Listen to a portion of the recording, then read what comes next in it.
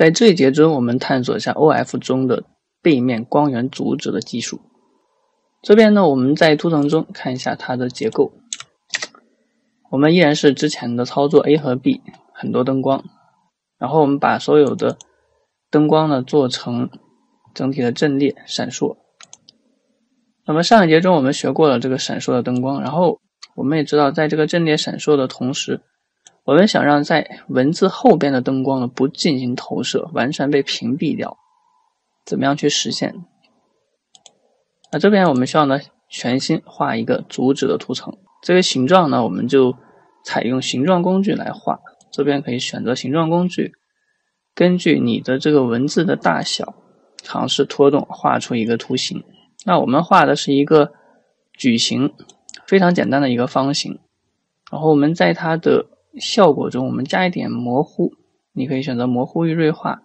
这边可以选择高斯模糊，或者说快速模糊。模糊的参数水平和垂直，可以尝试重复下它的边缘像素。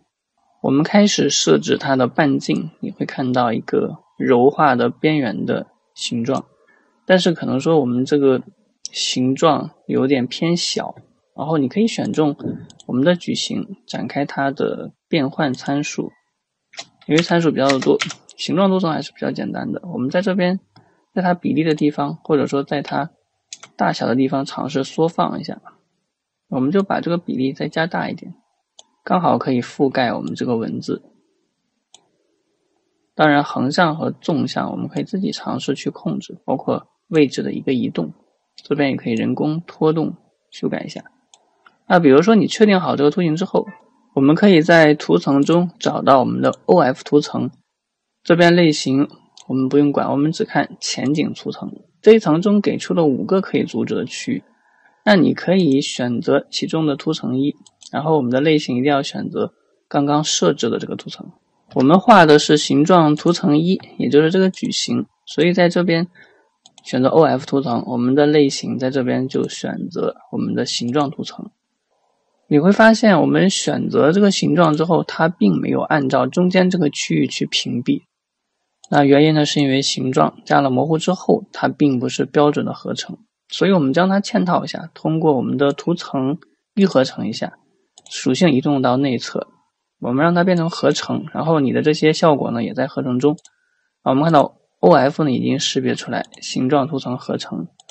然后它已经将我们这个中间的区域做了一个屏蔽，然后你只需要呢把形状层选中。隐藏一下，因为我们只是要屏蔽它，并不是让它显示，所以这边我们看到中间的灯光已经消失了。那你可以选中下边的图层，把这个文字显示出来。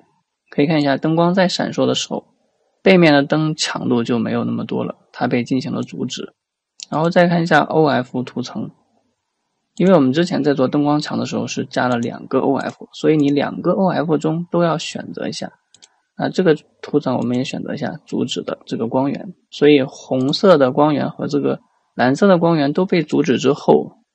我们可以更清晰的看到后边被挖空的这个状态。另外，我们在图层中，如果你把所有的灯光全部用父子关系连接到一个空对象上，然后空对象呢开启一下 3D，那么我们在它的这个变换属性中展开。你如果调整它的 x y z，甚至是缩放的话，我们看一下这个变化。你可以通过空对象整体去旋转你的灯光，或者说我们去缩放你的灯光。但是我们看到阻止的这个区域它是不会受影响的，中间挖空的区域依然是稳定保持在这个地方。如果说我们给这个图形做出动画，比如说这个位置。我们从起始的地方开启关键帧，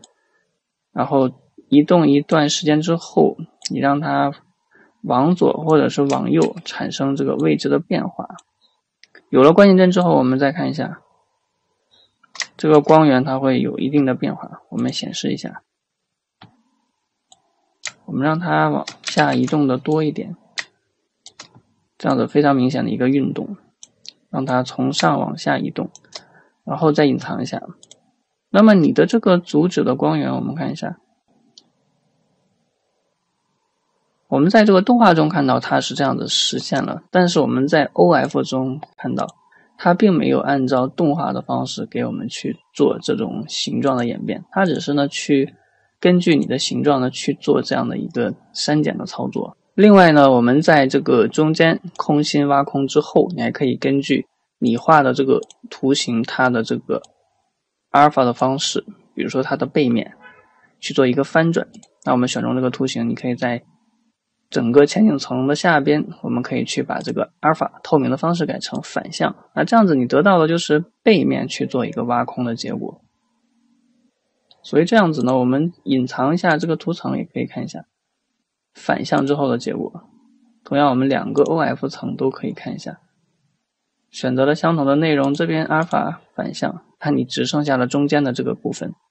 所以，如果说做一些点缀，这种反向的方式也是比较的有用。这是我们看到在 OF 图当中的使用这种挖空的方式。